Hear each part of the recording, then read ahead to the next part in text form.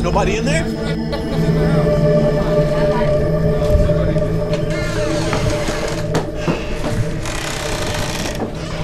in here? Oh my gosh, and I saw it from across the street. Yeah, everybody saw it. No, someone's in here. No, because Sylvia was the last person. Is anybody in here?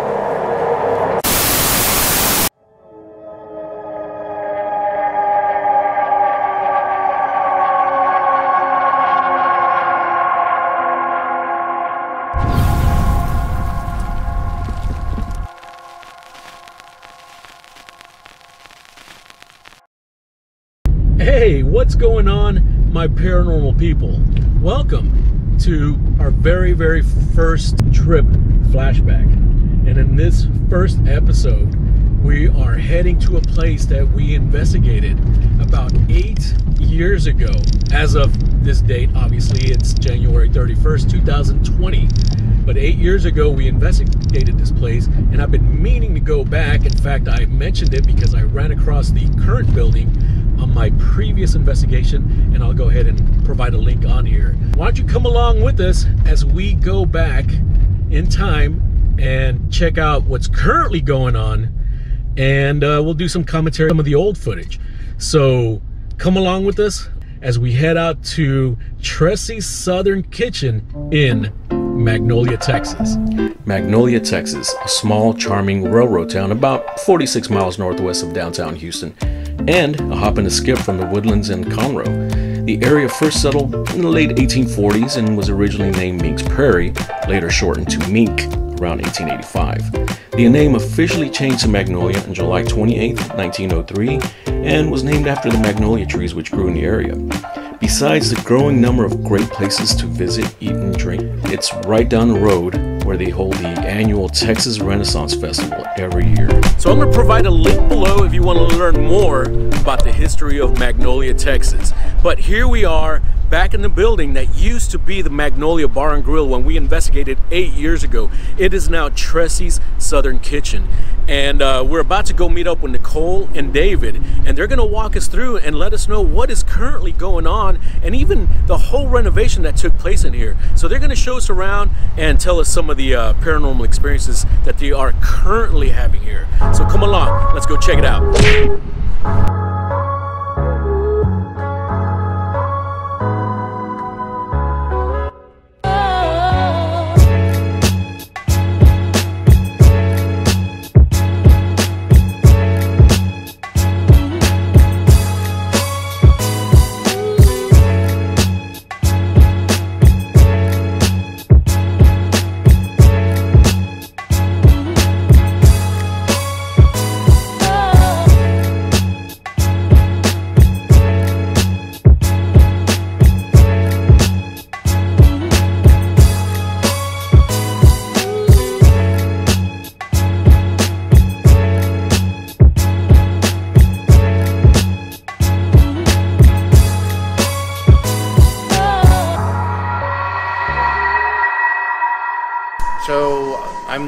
Name's David. I it was prior to us being open, so there was really nothing that you see in here now. All the furniture was here, the chairs were here, the tables were here, but they were kind of stacked over in the corner. So there wasn't a lot in the building. None of these curtains were on any of the w- windows.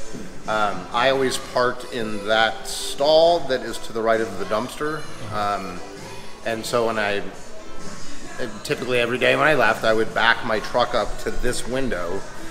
Um, the chef had already left, so I was the only person on the property at that point. And when I was backing up to this window, it appeared that somebody was standing here. I in no way could tell male, female, or anything like that. It just looked like a figure wearing what I would say would be like a white T-shirt, like a, Wayne, a white T-shirt, standing about where we are now. It startled me to the point where I turned my truck around. It was covered in goosebumps, like head to toe. Uh, called the executive chef. He had been gone probably 10, 15 minutes and was basically like, pretty sure I just saw the ghost and uh, I'm leaving now for the day. Um, he made the comment there's a neon, uh, almost like the Pac Man ghost from the game. There's a little neon sign down there. Um, that's been in the building almost since day one.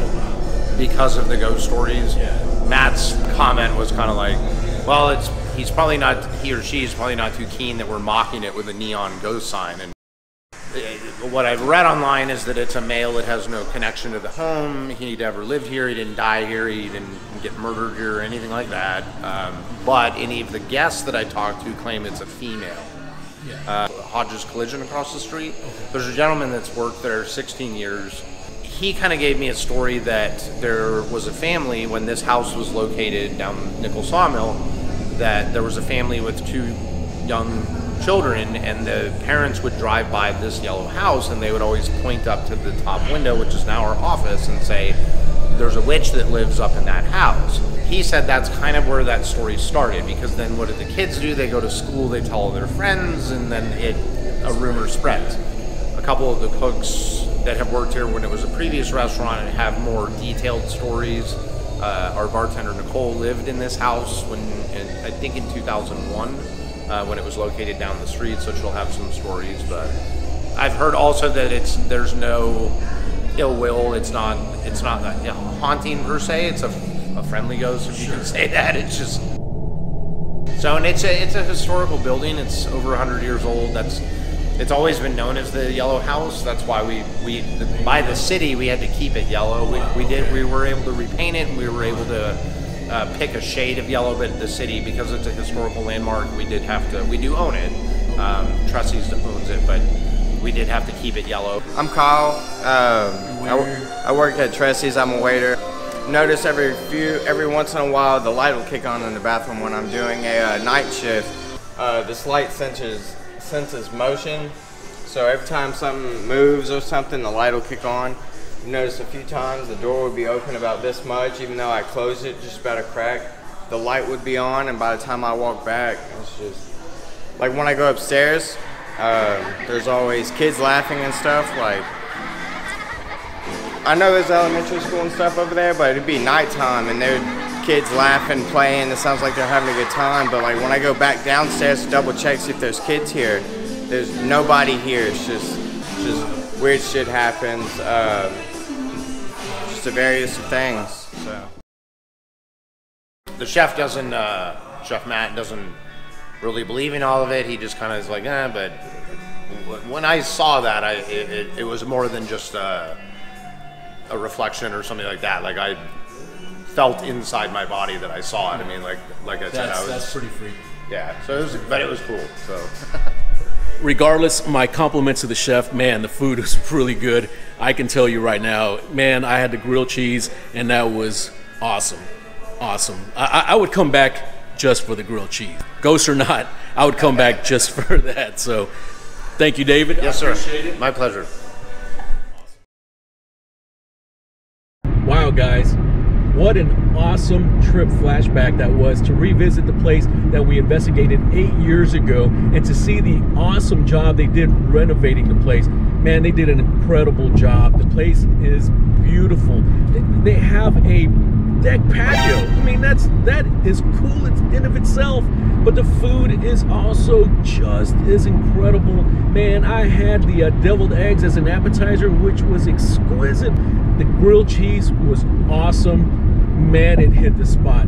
Right behind the uh, restaurant, there's this strollway that extends pretty far out. Hey, there's nothing wrong with uh, building up an appetite before you go get your grub on. Unfortunately, Nicole, she had to leave in an emergency and I couldn't get her interview off of her. But I hear she's got some awesome experiences, especially since she grew up in the old place when it used to be further down, as David had mentioned. But uh, I'd like to thank everybody uh, David, the manager, Kyle, the waiter, in fact, everybody who helped me out. Uh, Casey was the bartender who served me the hospitality was amazing. Thank you guys. I strongly re- recommend you guys make your way out to Magnolia, Texas, and hit Tressie's Southern Kitchen. Man, you won't regret it. The food is awesome. The stories are incredible. In fact, me and my boy Rodney, we met up right down the road at Lone Pint Brewery, and we sat down and we did a Tripp Flashback commentary on some of the old footage. So here you go. Check it out. Hope you enjoy.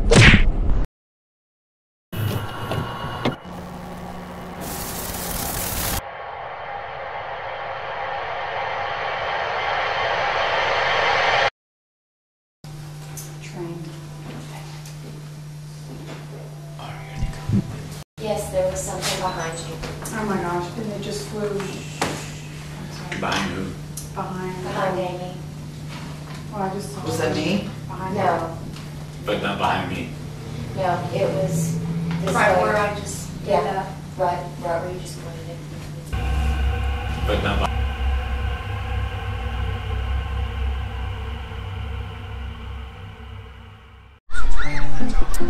right, so, oh, and by the way, I'm here with my homeboy Rodney. Now, he wasn't there during that investigation, but he's going to help me review some of the uh, some of the footage that we caught that night uh, investigating the old Magnolia restaurant. So, the first clip, uh, I don't know if you can see it, but there's a little light anomaly. Uh, it's a little vague, it's a little dim. Really, if you ask me, it could be anything. I included it in the footage anyway because at the time we couldn't explain it, but I'm not saying it's anything paranormal. Right, right. Uh, it, it's it's weird. It just kind of appeared out of nowhere. Uh, it could have been something reflective. I don't know. What, what, what do you think? That's what I was thinking. It was probably something reflective, but pretty much pitch black everywhere else, and it just pops up. And your the camera, I noticed when your camera's moving, Yeah. it's going back to that same spot and stuff, and there is no reflection when you ever go back to it. Yeah. So if it was a reflection, no matter how many times you go by, you're going to get that same type of reflection. That was just that one time. And, and the light did have movement, like it was kind of going down. It did. So uh, I mean, take it for what it is. I don't know if it's paranormal or not. I thought it was pretty interesting. But anyway, let's go to the next clip. So check it out.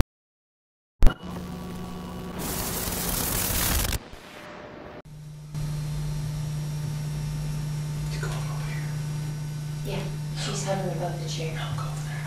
It's cold right here now. Yeah, she's hovering above the chair. Go check it out. Can you make, Amy, can you make the green light go? We're asking. Go back.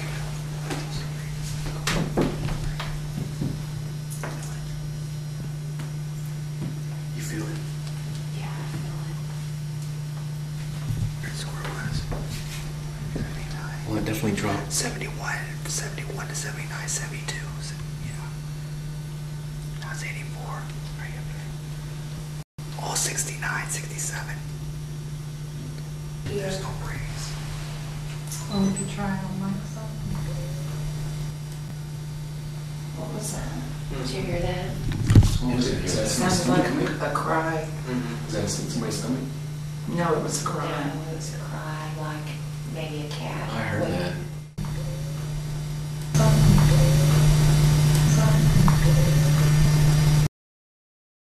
Okay, so now that was pretty interesting. Yeah, it was. There was a disembodied cry that that was heard. The cold spot.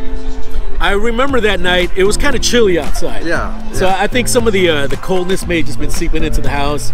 Maybe insulation wasn't Yeah. great, you know. So it was kind of chilly outside. Uh, the cold spot could have been explained by that. But the uh, the, the, the cry, cry. the cry. okay. You know, like a little kid's uh, crying out. And you know, you might want to use headphones too to to listen to it, uh, hear a little clearer. But also, we gotta uh, put things into perspective uh, of what was going on that night. Uh, they were expecting us there, and they threw a, a, a nice little party for us that night. So they had a bonfire and an open bar across the street from there. Could it have been that? It probably could have. Uh, by that time, the party hadn't really kicked off yet because we were still in the middle of the investigation. But I know the restaurant had already closed down, which is why we were investigating. Maybe people started the party early. It could be. Maybe. But I'll leave it up to you. Uh, is it a disembodied cry or is it something from the outside? Put some headphones on, listen to it, and uh, let us know what you think in the comments below. Let's move on to the next clip. You should test Hey, it. John. Hey, K2, if we have something, I'm the gonna, K, the K2, oh, shit, K2 went off. Oh, go dark. Just don't move the chair, but if you do, because she is, she is sitting in that chair.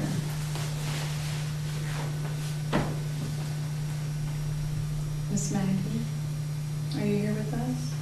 She's definitely here. I feel her. I get to. okay, it's cooler right here than it is lower. What was that? What was that? I think she's got a ring.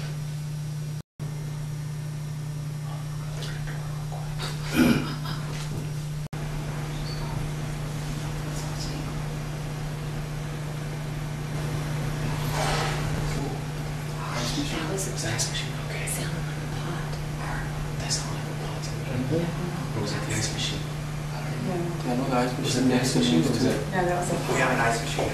But did, did you hear that? Did that sound like the ice machine? No, I didn't really hear it. the ice machine was really loud. That's Yeah, why. it sounded like a pot, a pot or a pan. It sounded like a pot. Yeah, it did.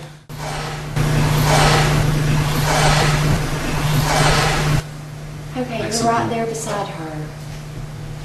Very cool right there. And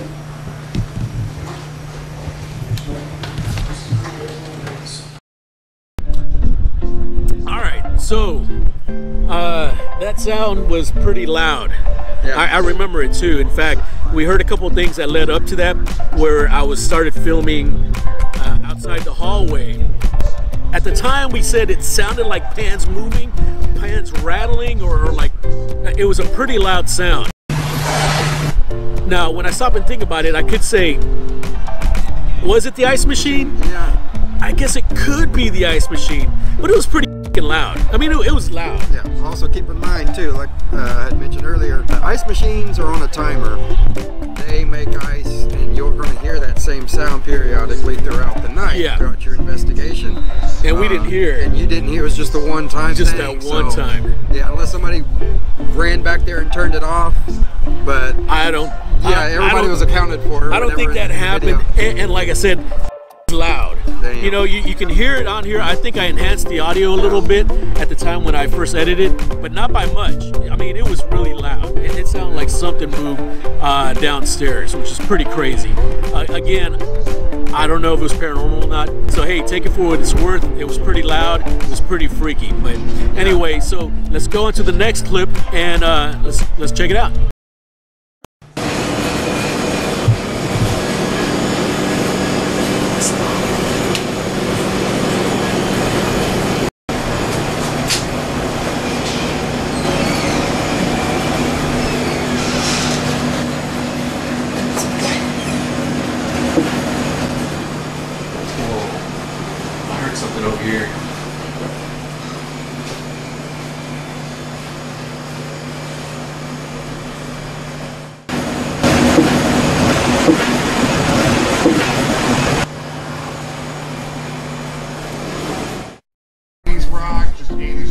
Right, everybody. Uh, ignore the uh, rock and roll, rock and roll bingo that's going on behind us. But anyway, in that clip, I remember that clip. We had made our way downstairs, and we were hearing throughout the kitchen. Now, there's a lot of noises in the kitchen. The noises that we were chasing could have been anything. It really could have. But you hear a door open.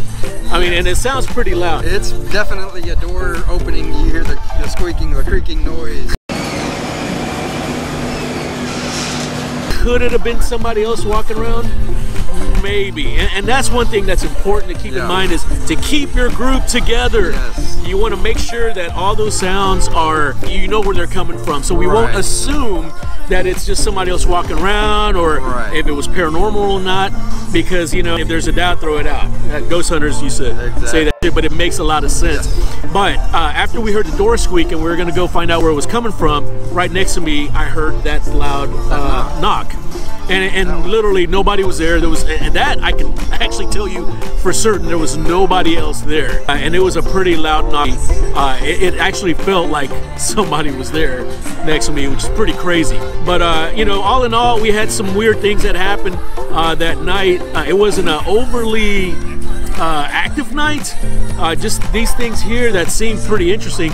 But there was one more thing that happened here towards the end that got everybody excited. Unfortunately, well, check it out, and, and I'll tell you why we didn't get too excited after.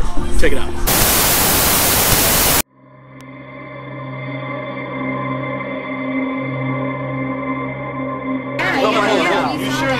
Nobody's over there yet? That's what she's going to check right now.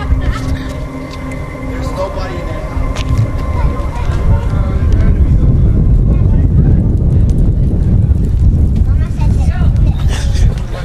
There's nobody in there? Who's in the house? nobody, nobody. No, somebody in there. Who's in here? No way. Oh my gosh, and I saw it from across the street. So did he. No one's in yeah, everybody saw it. No, someone's in here, bro. No, because Sylvia was the oh, last person. Is anybody in here? If somebody's in here making noise for us, if you turn on that light, can you turn another light on in here? No fucking way. Are you kidding me? I just told you. No way. Yep. He saw the light go on. He's like, no shit. He even asked us, he's like, are we done? Because they're turning the lights on. Wow. Wow. Who's trying to do this? If they did it, they went out the back door. They're not in the house. Is the door locked? The back door locked?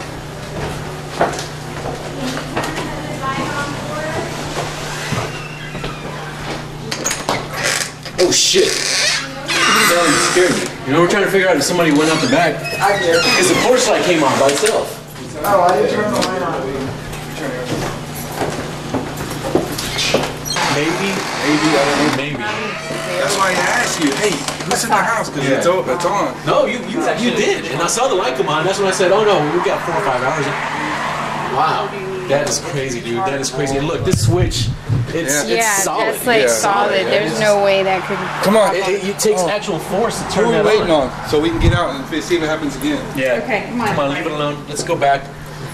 That was crazy. Wasn't it? Wow. There's Nobody in there. There's nobody in there. The light just turn. Let's leave the lights turned off. Well, we wanted a sign. There it was. Yeah, we got it.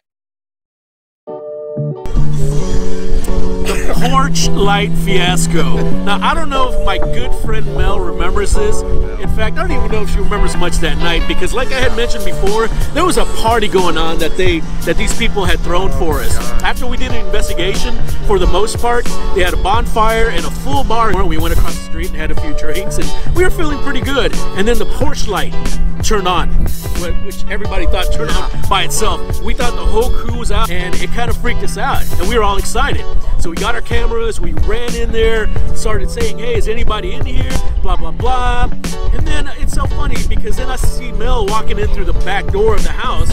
Apparently, she had gone to her car, and uh, she was looking for something. And I asked her, "Hey, Mel, did you come in here earlier?" Hell, you scared me. You know, we're trying to figure out if somebody went out the back. I did. Because the porch light came on by itself. Oh, I didn't turn the light on. I don't think she remembers, but there was a crew that we were investigating with. They had to st- uh, set up a static cam. And uh, sure enough, when they reviewed the static cam, it was Mel who walked in and she flipped on one of the light switches and it was the, uh, the porch light. Yeah, it was a porch light. Which goes back to our, um, you know, lesson number one keep your crew together. and you know what? Hey, look, we have a few beers. We, we enjoy coming out and exploring and, and, and having a good time. But uh, man, keep the alcohol down to a minimum. You know, the few beers, it, it, it takes the edge off. We love uh, contributing to the local economy. Uh, that night, granted, they threw that party for us. But uh, yeah, uh, I think uh, we should have been more uh, cognizant about our alcohol intake and uh, walking around and uh, you know turning porch lights on. But it was it, for a minute there. It was exciting. We thought we caught something, you know, unexplainable, something paranormal, but it was not. But anyway, all all in all, it was a fun investigation. Uh, man, the brewery out here in Montgomery is freaking awesome. The uh, Texas Renaissance Festival, which happens not too far from around here. So you know, if you're ever in the area, do yourself a favor and swing by Lone Pint Brewery. Man, the beers here are excellent. The patio is amazing man, it's uh, good, good people, uh, good atmosphere, good environment, good beers. Anyway, I hope you enjoyed this Tripp Flashback. Uh, let us know what you think. Hit that subscribe, hit the like, do all that good. And uh, we'll see you out on the road again on the next paranormal road trip. See you guys. Somebody stoned. No, it was a, it was an audible, it was an audible sound. It did sound like it sounded like somebody stoned. You sound like a stomach fart. Oh my God. stomach. Just-